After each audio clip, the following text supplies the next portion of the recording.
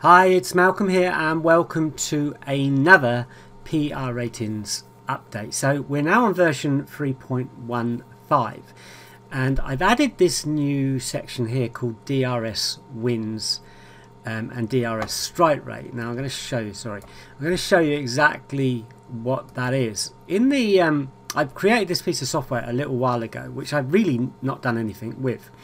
Okay, but basically it allows you to see how a, a, a runner has performed before um, in similar conditions. So basically what we've got is we've got 10 um, well form elements if you like. So we've got course distance, uh, race type which is um, whether it's an AW, flat, um, hurdle, chase, something like that. Number of declared win uh, runners, um, the going the class, um, the course direction, the actual jockey, the official rating um, and the weight okay? So we've taken those 10 elements and said okay has the horse run at this course so taking the course as an example we say has the um, this runner run at this course before? And if it has it gets a 1 now it gets a plus 1 for every time it's run at that course. So like here the distance this horse hasn't run at this distance before so there's no um, no numbers.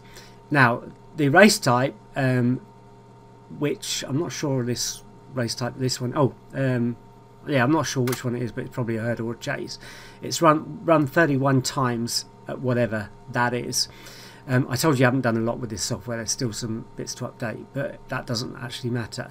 So it's run nine times at the same going, 12 times at the same class, 21 um, times at the same course direction. Um, it hasn't had this jockey before, um, and it's not had the same official rating before, etc., etc. So we end up with this figure here of 78, which is basically all these left-hand numbers um, added up, which gives us 78. Okay, so on the right hand, you'll notice there's another figure. So we, we go back again and say, well, at this course, has it ever won before?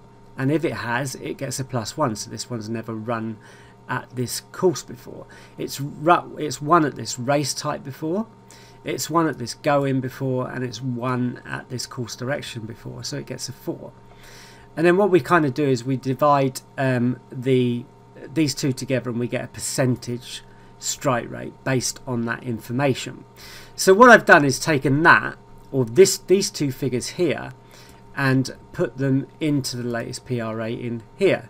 So we've got the, well we're actually actually only using the right hand figure, so the number of times they've won, and then the strike rate um, that they've, um, that those two figures added together take. So I've actually put the two columns in, so if we highlight or untick those two columns, they will appear um, down here. So you can see, um, you know, exactly the same as we did over here. So um, I don't know if it's three weeks. What race is that? Sorry. Let's go back to PR8. So that's the 1140. Actually, I think I went back a day in this one. I did. So that's why.